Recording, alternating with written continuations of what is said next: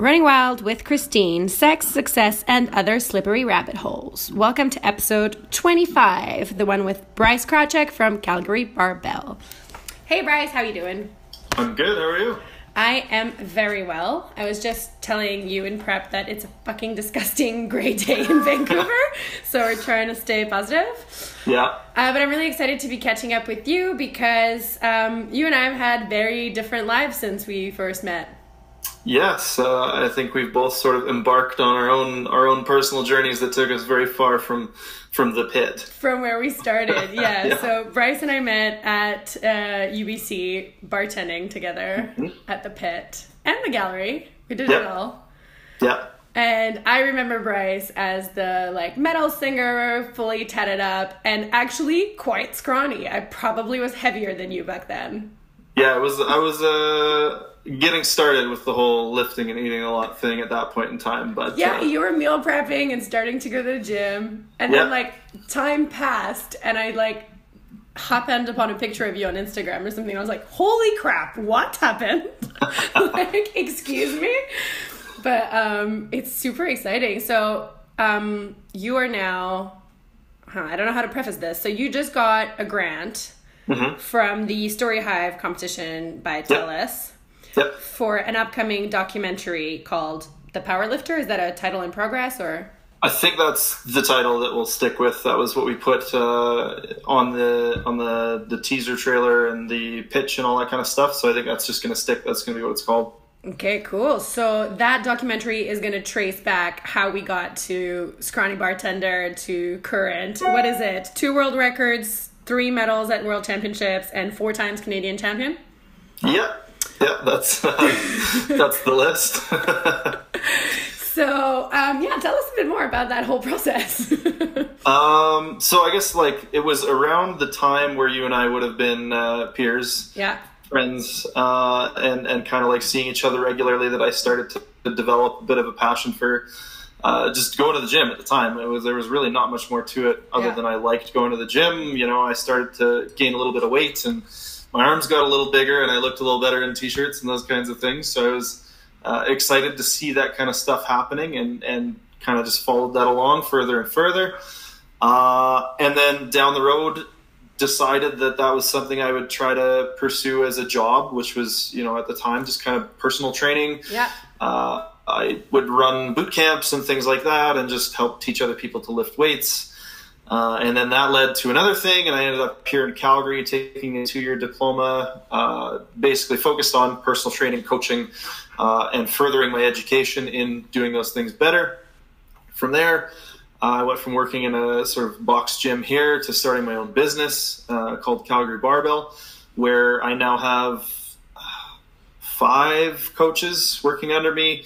I have a dedicated media guy who films all of our videos for our YouTube channel. Yeah. Uh, we're doing apparel, we're doing online coaching, uh, a lot of educational seminars. We're looking to uh, do some stuff in Europe next year. Uh, just yeah, it's it's, It's expanded crazy. to. Uh, it's taken me a lot of crazy places and, and given me a lot of awesome experiences. You know, all stemming from just liking lifting weights at the gym. You know, so I know it's it's crazy because like you think sometimes you get to a point and you're just like, how the fuck did I get here? Like when you just add up all the little things. Like I'm feeling that way right now, and Mm-hmm. I think it was like with you, it was like one of the common things when you know you catch up with people after university. You're like, so have you heard from so and so? And it's like, have you seen Bryce? Like, what happened? But it's it's so exciting, and I think for me, like, it's really interesting that your company is doing so much and that you're going towards the docu you know like road because i think that we're in a time where those personal stories are the only things that we start to care about. Like we're so in the fake all the time that like the only attention span we have is for like real stories. Did mm-hmm. you did you notice that? Is that sort of part of the reasoning? I think I think there's a really big trend, and, and maybe maybe it feels like it's in powerlifting, but it's probably just you know that's that's my scope Yeah. of the world. Like that's that's very much what I see uh, is in powerlifting. But definitely, I think there's you know there's this kind of like fake it till you make it attitude, and sometimes that just like stays fake and substanceless. Yeah. And I, I think that one of the reasons a lot of people kind of connect with the stuff that we do is because it's it's very transparent and it's very personal, and and we try to be vulnerable.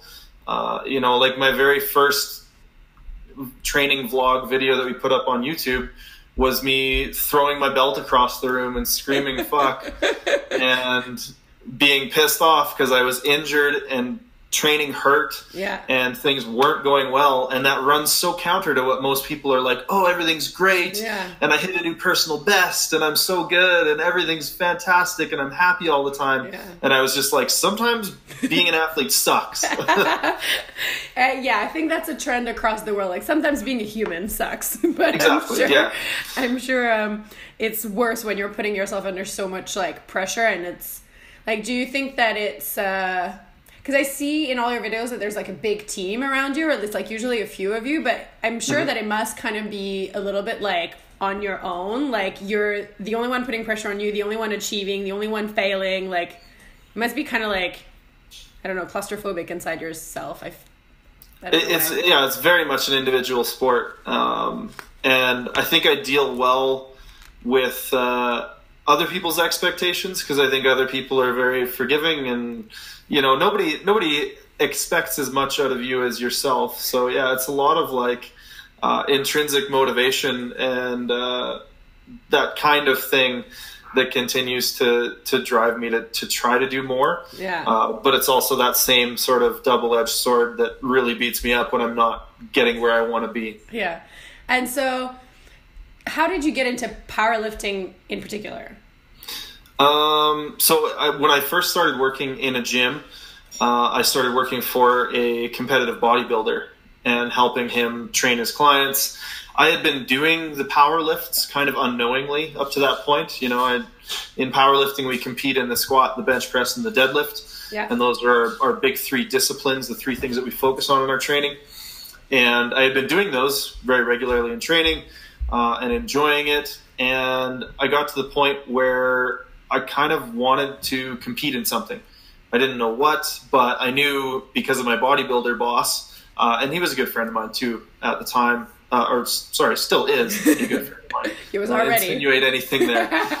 um, but yeah, so Neil was a bodybuilder. I, I saw and knew what kind of went into bodybuilding prep, and it just wasn't for me. You know, the the the, the posing and the flexing and the spray tans and those kinds of things just really, and, and the the super aggressive dieting Yeah. and the incredible you know sort of willpower that you have to have to restrict yourself enough to get as lean as these guys do, just wasn't really for me. Yeah. Um, so Neil also did some uh, sorry some powerlifting in his off season, and invited me out. He said, "Hey, do you want to do a powerlifting meet one of these days?" Uh, and he was doing one, and he took me to my first meet and helped me run my numbers and all that kind of stuff. And you know, the the very first squat that I ever did in a powerlifting meet, I kind of knew as soon as I walked off the platform that that was just it. That yeah. I was, it, I, you know, I walked off and I said to uh, said to Neil, I was like, man, this is better than drugs. like this is better than anything I've ever tried in my life. This is amazing. and just from that point, uh, it just consumed me. Um, That's awesome.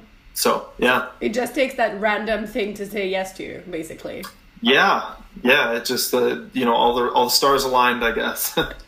Nice. And then, um, do you want to explain kind of like what sets powerlifting apart from like because to most of my listeners, I think that they won't know the difference between other lifting competitions. Right. Uh, so powerlifting, like I said, is the squat, the bench press, and the deadlift. Yeah. Most people are pretty familiar with Olympic weightlifting, uh, which is the snatch and the clean and jerk. Basically, if the bar goes over your head, it's not powerlifting. That's Olympic lifting. Okay. Uh, a lot of other people have probably seen strongman competitions where people are lifting the big, giant cement stones Yeah. uh, up onto platforms and deadlifting cars and all that kind of crazy stuff. Uh, and that's a whole other sport of its own called strongman. So there are a number of, of strength sports, and the one that I compete in is kind of like Olympic weightlifting in the setup and the execution, but the lifts that we perform are different. Okay, cool. And Yeah. so how do you so how do you go from like one lift at a meet to you know Canadian nationals and world championships? Uh, obsession. Like you personally, I don't mean like how do people like obsession. Yeah, I think that was like like I said. From that point on, I got I got pretty hooked on it. Uh, I started working in the field. I started coaching other lifters uh, and and getting my my personal training clients to do powerlifting style training. I started reading and learning every single thing that I could. I started tracking all my food. I started tracking my sleep. I started, you know, um, looking into all the equipment and different things that you can do to try to get an edge on on performing and lifting better and recovering better and training better and all those kinds of things. Um, and then it got to a point where I I kind of had my first meet where it was really competitive. You know, it was me and another guy, and it was provincial championships, and it came right down to the very last lift of the day, and it was very, very close, like two and a half, five kilogram difference, and that was such a rush. Like it was, it was the next step Yeah. of that. Holy crap, this is the best Yeah. feeling. Uh, and from that point, I was like, wow, like okay, this this is what it's like to be competitive. I want to be as competitive as I possibly can. So at that point, I really kind of doubled down again. Uh, and I think, honestly, I think my, my kind of obsession with lifting was part of what led to me uh, s- separating or, or breaking up with the girl that I was seeing at the time. You would have known me Yeah. um, because I just I changed as a person. I, I you know kind of found this path that I really wanted to follow, and I went headfirst down it. Yeah. Uh, and it, it we grew apart because of that. Um, but uh, I absolutely don't regret a thing. Um, Yeah. I was just gonna say it's so funny to watch you like say the words because like I remember I actually kind of remember you having that kind of obsessive drive side, but it just didn't have anywhere to go. Like Yeah. it was it was it's so funny because you were trying to be like that about your music and like, you know, you were super committed in any relationship you had whether it was a friendship or whatever. And I'm I'm just like super glad to see that it went somewhere. Yeah, and I think that was a big thing that kind of ended my my uh, time with with the band and with music was I didn't feel like I had that sense of agency, Yeah. that that ability to get in what I, get out what I put in. Uh, Yeah, you know, you really kind of had to wait for other people to call you and like wait to try to get a show and hopefully the right people heard your music. Whereas this, it's like if I feel like I need to do something and I need to be better, like I go to the gym and Yeah. I put in the work, and you know I see those results manifest almost you know shot for shot kind of thing. So Yeah. that was something I wasn't getting with music, um, and something that really was a black and white difference when I started getting into lifting. It totally is, and I think that's like kind of like most of like creatives struggle is that like you the the bar for like good or bad or improving or you know there's no there's no standard there's no it's all subjective and it's like this Exactly. beautiful mess which I love it suits Right. me but it definitely if you're looking to achieve like goals it's like you have to set very random and weird goals to achieve them like there's no trajectory Yeah, um, but yeah, then, it's not as easy to like track progress. I mean, yes, if you're writing a number of words, but like you can write a lot of words and they can all be shit. Like, you know? Yeah. So, um, but what was I gonna say? So yeah, and then from that point, like I think that it's really interesting how you like um, publicize like your achievements and like the whole. Because I followed you on Instagram. I think from the beginning that I found out that that's what you were doing Okay.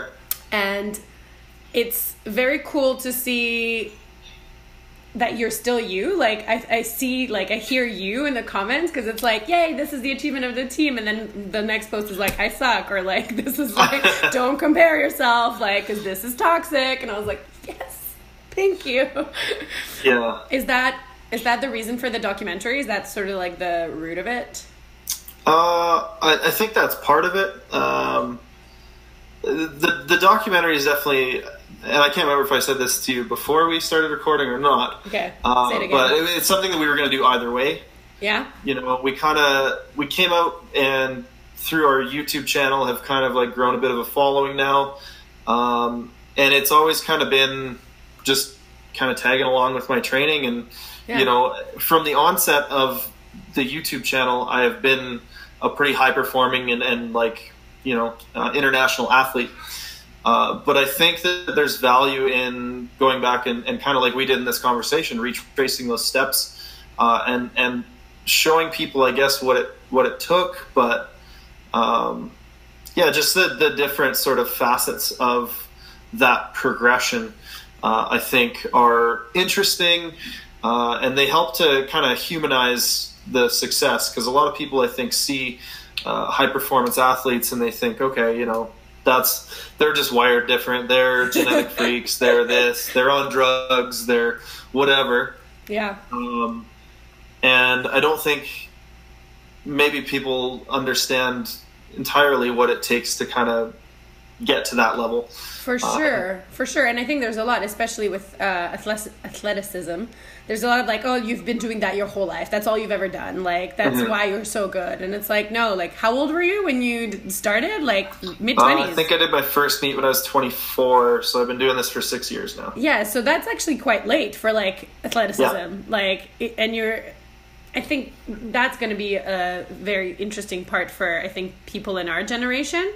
Mm-hmm. Where like we kind of I don't know if you noticed this, but I noticed it a lot with my friends like late 20s is like this like weird zone where like we kind of followed a path that was what we've been taught, you know, finish school, do this, like follow mm-hmm. this very traditional path. And then you get to like your early 20s and you sort of start noticing that that's not the world that we live in and then in your late 20s you're like holy shit what the fuck am i doing like why have i done like this or and then yeah. and then it's kind of hard because you're started making money so you're like well to change i would have to like give up everything to do something else or like but you can actually make little changes quite like gradually mm-hmm. and and like we accidentally became other people but that's like I don't know how to say it, but there's like a weird thing where I think that's going to be interesting for other people to see is that like it's not it wasn't like right now I'm just doing this. It's like oh I like this. Like I'm just going to gravitate 2% closer to mm-hmm. that and then 2% closer to that and then was that how it felt for you or Absolutely. It was it was all those kind of little decisions and and uh ten, tendencies uh and the little bits of practice and those kinds of things. It wasn't like you know, uh, when when we were working at the pit, I was like, hmm, I wonder, I wonder if I'll ever run a successful powerlifting company and create YouTube content and sell apparel and coach people from around the world and be an internationally successful successful uh, powerlifting athlete. It was like, oh, I like doing squats, you know, and then it, it just kind of, yeah, yeah, it was those little shifts in thought and, and focus and and that kind of stuff. And then you, you almost don't realize that you're there until you're there. And I'll, I'll, be somewhere different in a couple of years, I'm sure. I'm sure. Whether it's further along this path or, or a totally different one, who knows? Yeah, I, I feel you on that for sure. Um, but what was I going to say? Is there um, a central point you think that'll come out of the documentary that's to you is like key, that's different from the stuff that you're doing on social media? Uh, I think there's kind of two main things, and we need to flesh this out more. Um, Dylan and I. Dylan, so Dylan. Yes, tell us more about Dylan. The the guy who is the mastermind behind all of the content that we put out. He's a self-taught videographer, um, and kind of just we met each other at the exact right time and started working together. He was looking for a subject, and I didn't know YouTube was really a thing. uh, or that you could use it as a vehicle for your business and those kinds of things. I, I was just like, oh yeah, cool. We'll make some videos and maybe that'll uh, maybe that'll be good marketing or something. Yeah. I don't know. Yeah. And Dylan had been practicing kind of filming some of his own training and those kinds of things, and he's like, well, I'm not that strong, and like I I don't know if people are that interested to see me lift and whatever. He's like, but you're like a, an athlete it. at the top of the game kind of thing, and um, so we, we kind of we started working together, and yeah, the rest is history. So, uh, we, like I was saying, we need to kind of flesh out the the core concepts of the video a little bit more, uh, but definitely talking about my journey through powerlifting, uh, and also almost as a parallel the the journey that powerlifting as a sport is going through. Um, as as a somewhere between an amateur and a professional sport, mm. uh, and struggling to kind of find its own identity within those bounds. There are I don't even know how many different governing bodies within powerlifting. Some yeah. of them are aligned, some of them are not. some of them have very different rules. There's it's just the wild west, really. so trying to come up with some sort of uniformity and trying to see more transparency at the higher levels Yeah. of the governing of the sport. Uh, it's just there's a lot. We've we've come a long ways with the insurge of sort of popularity and the people who were interested in barbell strength training, uh, and as a result, the number of competitors. But there's still a lot to be done and a lot that. Uh, you know we can do better. So I think looking at where powerlifting has come from and where it's going, uh, in sort of a parallel to my own journey Yeah. through the sport. That's super exciting. I would watch that. I'm glad.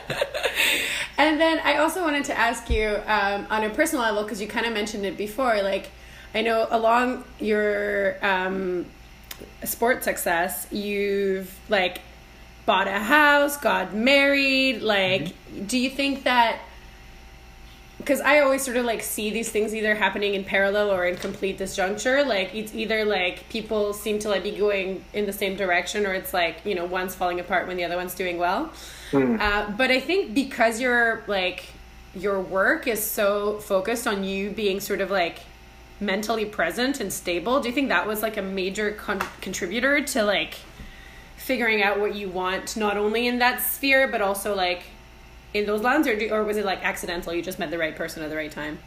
I think it was a bit of both. Um, I think that it definitely helped. Like I met Selena in the gym. Yeah. Uh, funny story, actually. I, I kind of I didn't really like her her trainer, and she she trained with another trainer at the gym uh, when I was working at a commercial gym. And he came up to me one day, and I had seen her squatting uh, and admired from afar. Um, but uh, her trainer just wasn't doing a good job of coaching her to do these movements better. Basically, was my, my gripe with the whole thing. He came up to me and said, "Oh, Selena should be a power lifter. She's she's super strong." And I was like, "Yeah, well, she'd have to squat to depth, and I've never seen her do that." more more as a shot at the trainer Yeah, than yeah. at her, obviously. And he went back and told her like, "Oh, Bryce doesn't think you could be a power lifter. He doesn't think you got what it takes." So our first interaction was her coming up to me and telling me off uh, because she was like, "Oh, you think I can't do this? Like maybe if you got a problem, you should come and talk to me instead of telling everybody else about it." You were like, and that uh. was yeah, that was our, our very first interaction. What did you say? I could totally picture you being like, uh. yeah, I, I, I, we wore red shirts at the time, yeah. uh, and I think my face was the same color as my shirt, and I just kind of stood there stunned. uh, until I could gather myself, and then I went and talked to her afterwards, and was kind of like, you know, I didn't say that. I just don't think he's very good. uh, if you ever want help with your squats, just let me know. She was like, "Way to recover, buddy." Yeah, yeah. The rest was uh, the rest was history.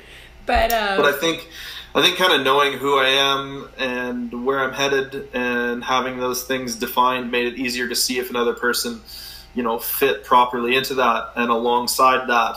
Um, so there was definitely some of that, and definitely just running into an amazing person that you know compliments me and pushes me to be a better person. Um, so yeah, some luck and and some kind of just like work. knowing yourself, I guess. Yeah, Yeah. a lot of work. Yeah. yeah, no, for sure. I mean, I don't know. I'm still single for a reason because I still have a lot of work to do on my own self, not blaming anybody else. Um, but um, what was I gonna say? Yeah, because I always like I remember you always sort of like having this. Like we've had like deep, long, drunken chats at like after closing, drinking lots of beers. Um, Yep. for for setting for you guys, and you were always sort of very like even though we like were late nights drinking all night and you know like late night scene quote unquote unhealthy lifestyles Mhm. um, you always had this like wholesome vision of what your life would be like you did you do you remember Uh, Or is this one of kind those of, weird maybe. things I'm, I'm not sure. Maybe you can refresh my memory. yeah i think it's funny the more i do this stuff especially with people that i know they're like i remember this thing and i don't remember and it's like we have very competing memories Mhm. Um, but you were always like, yeah, I, I think we were in our early 20s, so you kind of talk about relationships in a very sort of clueless and idealistic way. I s- Still do, but you know, more. Um, and you were kind of like, yeah, I think like I'm imagining being married. Like I remember you saying stuff like that, like, you know, considering that sort of very long-term vision back then. And I was like, "Huh, that's so interesting because it contrasted with like the rest of our lives, which was very much like I'm hungry, so I'll eat at 3 in the morning regardless, you know, like there was no Yeah. thought process to any of our actions. Yeah, for Um, sure. But uh but it's it's funny that you had that from the beginning. Yeah, I I think it's always kind of been one of those things, and I'm I'm almost too good at just going with the flow sometimes. Uh, like my wife is very, Selena's very uh, type A. Like she makes lists of lists that she needs to make. I love her already. yeah, uh, you guys should get along. Um, and I am very very good at flying by the seat of my pants. Yeah. But Uh, so I mean, at the time, people would be like, "Oh, like, do you think you'll ever settle down?" And it's like, "Yeah, I don't know, why not?"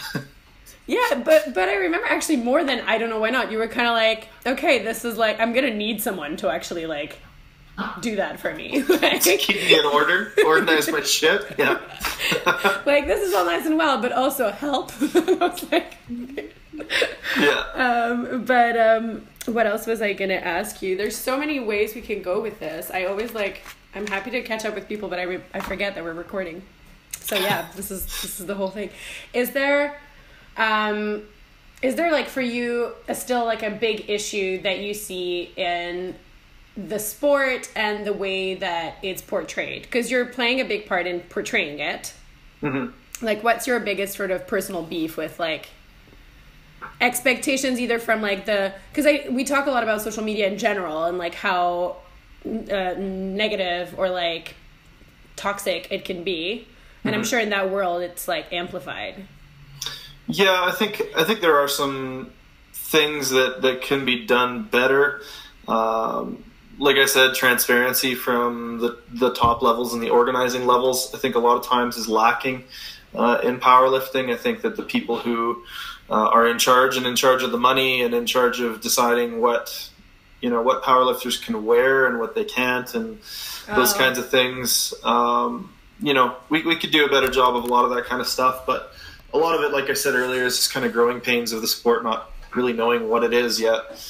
Uh, I think on the athletes side of things, uh, I don't know. I, I like. I, it's hard for me to, to pick apart too many things because I love the sport so much, uh, and I literally, I'm like, I'm coming down off a high from uh, coaching. We had 17 athletes competing this weekend Yeah, uh, over two days, and we had five people on the podium, and amazing. uh, just the community is so great that um, yeah i don't know. I just i find it hard to like not focus on the positive stuff i guess. Um, but yeah social media can be rough. And i think on a personal level a lot of times looking at your competitors and seeing where they're at can be really tough to see especially if your training's maybe not going so well it can Yeah. be really hard not to draw those comparisons and end up, you know, kind of beating yourself up because they're like, oh, well, you know, so and so's making a lot of progress there, and we're competing in three months, and I'm, I feel like I'm spinning my wheels right now, and you know, you just get into this mindset that's uh,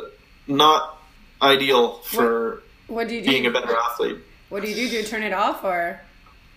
Yeah, I I, I, unfollow, I unfollowed a lot of people, um, and like in some cases even sent them a message and was like, "Hey man, like I think you're a great athlete. I think you're a great dude. I just can't watch you train because it messes me up, and Yeah, that's just what it is." So but that's a super healthy way to deal with it.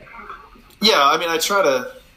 Social media can be a, I don't know, it's really easy to to fall into a trap with it, and I'm probably guilty of being on my phone way too much. Selena would back that up Yeah, pretty heavily, yeah, uh, and being too accessible to my clients and things like that, where I'm answering emails and messages at all hours of the night, and you know, sending out people's programming late, and you know, when they ask, so. I get I send out people's programming every weekend. Sometimes people forget to ask me on time. yeah. So, you know, Selena's like, well, you should just charge them a bunch of money or just send it out late and whatever because you're busy and like you Yeah. shouldn't mess up your Sunday night because somebody forgot to tell you they needed programming.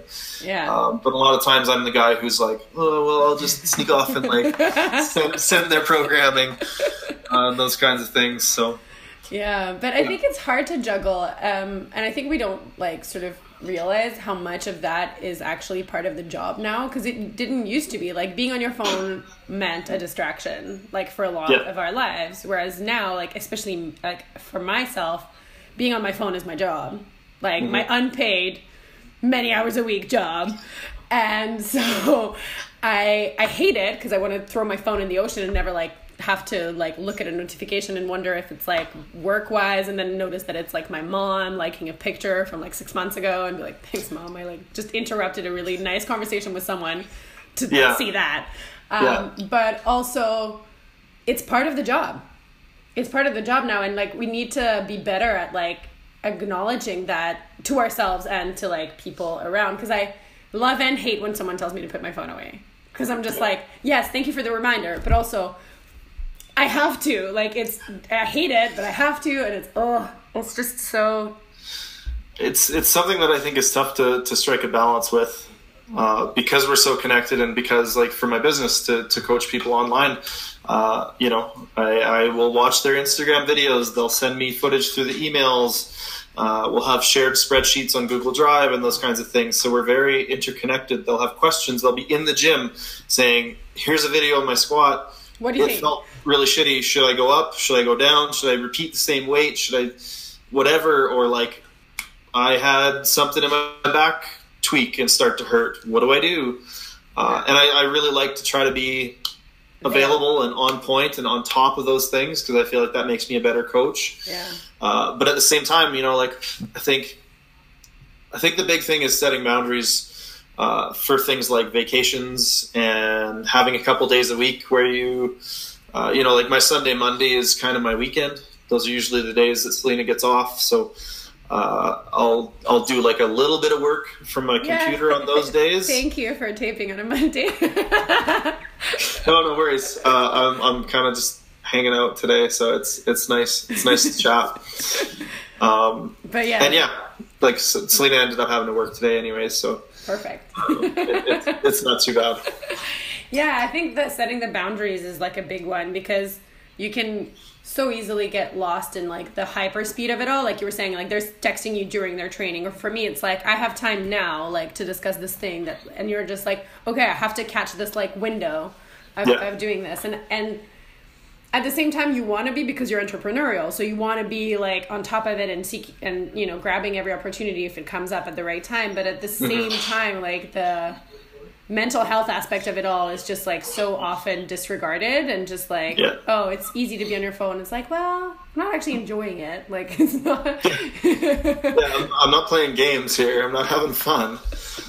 like Well, I mean, I mean, work work can be fun in its own way, kind of, but yeah, there's only so many hours you can spend on Instagram and find it fun. Like it's like Yeah. it's like the first That's five sure. minutes, and then you're just like, oh god. but um, but cool. And how do you like? How do you set the balance then? What's the like? Do you have next big goals, or is it like is this the big project now? Oh, um, it's it's hard to say. We got a lot of things up in the air right now. I just hired a new trainer, uh, so she's going to be starting in the gym to teach or to do to do personal training. Um, she's going to be taking on online clients as well. We've got this video project.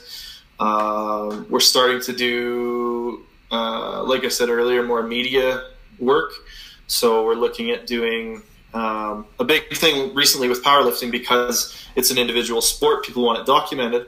So there are companies that provide photo and video package services for the competition. So they'll come in, they'll film you, they'll you know take photos, etc., and then they'll sell it to you afterwards, basically. So we're looking at getting into that market because Dylan's so talented with a lot of that stuff. Yeah, Just kind of it just kind of fits. yeah. Um, uh, we're going to be selling programming uh, and creating a program library that people can purchase programs from. Uh, and we're doing some really cool stuff that uh, I'm just going to kind of keep under wraps with Yeah. that Yeah. uh, and some sort of extra elements and perks that will come with purchasing those programs that I don't think are being done anywhere else. Mm. And I think that's the big thing is that everything we get into, we try to just do like a little bit more or a little bit better than what everybody else is doing Yeah, and just try to like raise that bar of things just a little bit more. yeah. Because then that and also hopefully helps. that kind of sets us apart, right? that and also like i guess you have your personal experience so it'll make it easier for anyone starting now Mhm. to have the tools that you wish you had maybe Yeah. Um, and yeah, like I said, we're looking to do some more traveling uh, in the next year or so to do some seminars uh, in UK and France. It's looking like right now. Uh, and then I have some big plans for competing in the next two years. Ooh. We'll see, we'll see what happens with that more as it unfolds. But uh. I have some, tuned. some really big plans, at least as far as powerlifting is concerned. That's awesome. I will definitely be linking um, your YouTube and your Instagram and everything down in the Oh, description of the episode so people can go check it out. Um, is there something that you would say to your 24 year old self? Oh boy, uh, that's a really good question. Um, Yeah. yeah, honestly, I this might just sound lame or vain or something like that, but I, I'd probably just say like, keep doing what you're doing. Yeah. Because I, I don't know, I, I'm I'm happy. no, but I, it's like, uh, it's a I couldn't I couldn't be happier about where I've landed, where I've ended up, and who I've ended up with, and those kinds of things. So probably just just tell him to Keep trucking. to do do what he's gonna do, so that I end up in the same spot. That's awesome. I think it's. I think we have as as a society a problem with talking about being happy. Yeah. Like I was telling, I was talking to a friend, and I was like, "Do you want to come on my podcast?" And she's like, "But what am I going to say? I'm happily married." I was like, "Well, you're going to talk about being happily married as." Can you talk about that? she was just like, "It it sounds so braggy," and I'm like, "It's not though. Like, why are we constantly talking about like you know?" breaking up or like you know not divorcing or couples therapy or or you know just general therapy um, i'm like that's yes we should talk about all those things absolutely but like Mhm. it's also nice to remind yourself that actually happy isn't some kind of like weird utopian land that Yeah. nobody ever gets to Yeah, and it's also I think like it's not a it's not an overarching thing where you're either like wholly happy or wholly upset or, or wholly depressed or di- disappointed Yeah. or whatever. Uh, it's it's one of those things that's gradients, and it might be you might be happier with certain aspects of your life than others, and Yeah. it's it's all it's all spectrum kind of stuff, and it's. Uh, yeah, it's it's easy to be happy in in the moments if you choose to. I think. yeah i totally agree i think that choosing to is like the part that's crucial Yeah. Because like there's there's most of the time there are rare times where yeah okay maybe you have nothing to be happy about that happens Yeah. Yeah. but definitely. but most of the time there's lots to be happy about Yeah, I think so. um, but yeah so thanks is there anything else you want to say to the listeners regarding anything about you know anything that you do or or some kind of message doesn't have to be wisdom or Um, anything I, I would probably say go check out Christine's book yay if you haven't. I haven't, and I should. Yeah. Um, so let's let's all go do that. cool. Well, thanks so much for your time, Bryce. And, Absolutely. Um, yeah, hopefully you'll come to Vancouver soon so we can hang out again. Yeah, I have. I still have some tattoo work I need finished out there, so we'll see. Yay! Selena's got some some friends that live out there, and I think uh, it won't be long before we have uh, the stars align, so we can get back out there at some point. Amazing. You can always stay with us. We've got room. Okay. okay, well, thanks you guys for listening. If you have any questions, as usual, you can tweet at me and, you know, reach Bryce whichever way you want in the description. Um, and yeah, if you have any suggestions or topics you want me or us to address, feel free. Uh, as usual, please subscribe, rate, review, all the clicks, things. Um, and have a nice weekend. The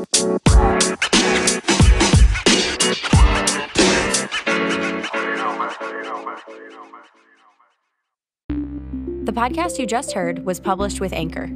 Got something you want to say to the creator of this show? Send them a voice message using the Anchor app, free for iOS and Android.